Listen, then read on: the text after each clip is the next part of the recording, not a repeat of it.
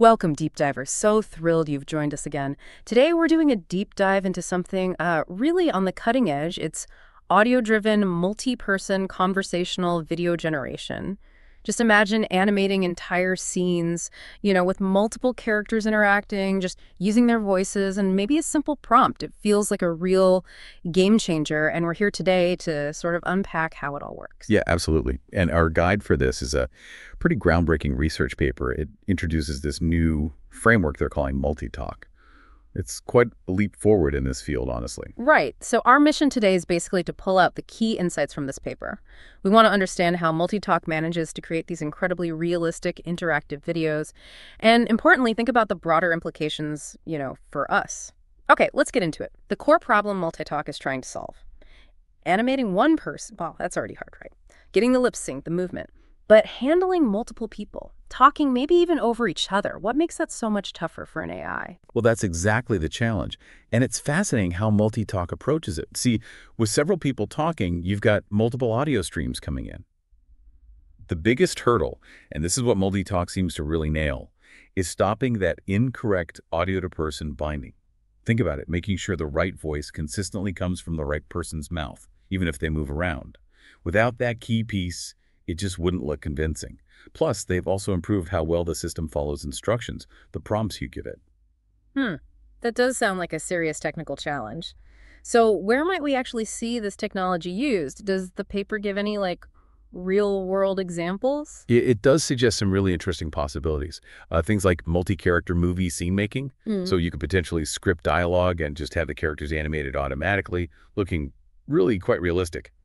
Another area mentioned is e-retailers live streaming.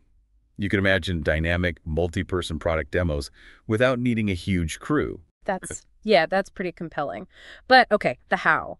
How does multi-talk actually achieve this? That voice-to-face -face matching with multiple people, that sounds like the secret sauce. It really is. And that brings us to their main innovation, label rotary position embedding, or LROPE. You can kind of think of it as a very smart digital conductor for the animation. It assigns these unique temporary labels to bits of the audio, and then it links those labels directly to the visual data of the person's face, their body. This connection essentially tells the system, okay, this specific sound belongs to that specific person on screen, and that allows it to trigger the right lip movements, the right expressions, for really good synchronization, even if the scene's busy. Wow, okay. L-Rope-E. And the way they train the system sounds clever, too. The paper talks about partial parameter training and multitask training. Why are those specific strategies important? Oh, they're absolutely critical partial parameter training. That means they only fine-tune some parts of the underlying AI model. The clever part is this preserves the original model's ability to understand instructions well. If they trained everything, you might actually lose some of that capability, get weird distortions. And then there's multitask training. This is also smart.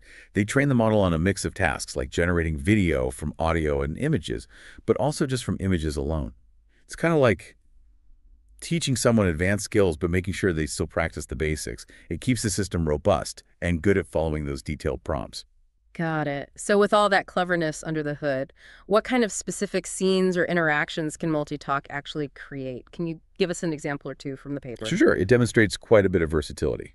For instance, it can handle a prompt like uh, the fox picked up the cup and then touched the rabbit's head. That shows it can manage object interaction and specific character actions. Or it can do things involving multiple subjects, like a man and a woman are singing together on stage. That really highlights its potential. So what's the overall verdict from the research? How does it perform compared to other methods? The paper reports superior performance, particularly in lip synchronization and video quality. And that's across different test cases, just talking heads, full bodies, and these more complex multi-person setups. Another impressive point is generating longer videos.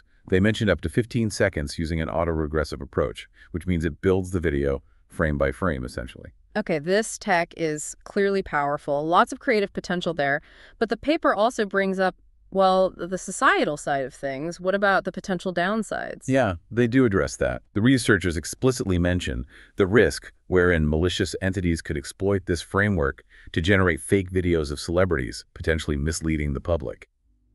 It's a significant concern, and they acknowledge it's a shared consideration across various human animation methodologies. It's not unique to Multitalk, but definitely something to be aware of with this kind of power. Indeed. It's a crucial point. And it leaves us with a big question, doesn't it? As this kind of AI video generation gets better and better, how do we ensure it's developed and used responsibly? How do we prevent misuse while still benefiting from all the amazing creative things it could enable? That's something for all of us, I think, to keep thinking about. Well, that was quite the deep dive. Thank you so much for joining us today to explore the really fascinating world of multi-talk. Absolutely. And staying informed on these technologies as they evolve so quickly, Mhm. it feels more important than ever. Couldn't agree more. Keep that curiosity going, everyone, and we'll catch you on the next deep dive.